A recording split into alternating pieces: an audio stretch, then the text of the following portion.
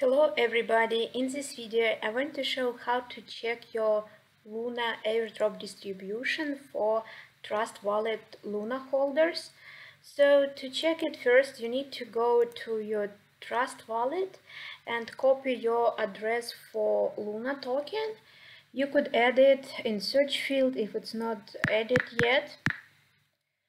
So add Luna token and then uh, you could click to receive and copy the Trust Wallet Luna address.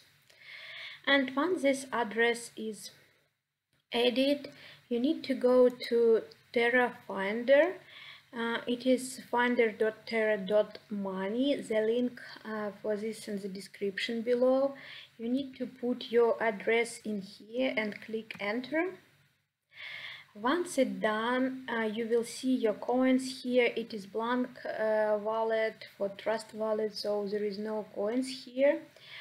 And it is Terra uh, 2.0 network and if you want to see Terra Classic you need to click here and here you will see um, the original coins you have and if there is some coins for you in mainnet it is how it will look like.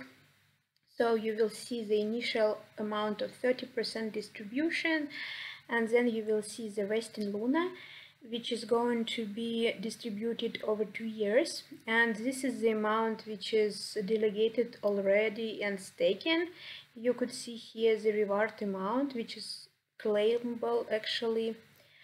So it is all I wanted to share with you guys today. Thank you for watching. Have a good day. Bye bye.